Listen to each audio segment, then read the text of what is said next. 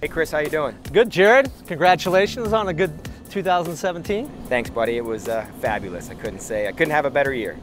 Well, here we are in Daytona International Speedway. We had the inaugural Daytona TT. You were the winner, but here you are, Spine, getting ready for 2018. What's the story? Well, I figured I'd stop by and say hello and uh, figure out how we can make this place bigger, better, and faster. We've got a plan for that. I'd like to hear. Let's go check it out. In 2017, the outside edge of this side of the racetrack is where this white line is. This year, we're talking 40 feet out. So that makes the radius of turns one and two much rounder. They'll be able to carry more speed through the corner. We'll be getting up onto this part of pit road and then we'll have a little kink and when you're gonna accelerate all to the point where you get up in the air over the jump. Jump's gonna be from start to finish 150 feet in length. The first third of it is gonna be up to six foot height with uh, two thirds of it as a landing ramp.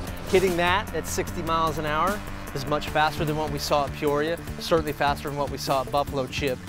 You're gonna be going into the chicane after the jump, carrying a bunch of speed hard on the front brake into an area that's gonna be pretty dicey for all you guys. It's a little narrower on that straightaway, but it widens back up out here onto the pit road at the exit of the chicane. we go onto the pit road again? All the way back out on the pit road again, nice. off into turn three and four, and head that thing with more speed down the front stretch. We'll be starting and finishing at the stripe here at Daytona International Speedway, uh, a little bit different than a year ago. Well, you answered all my questions, bigger, better, and faster. Thanks, man. It's going to be exciting.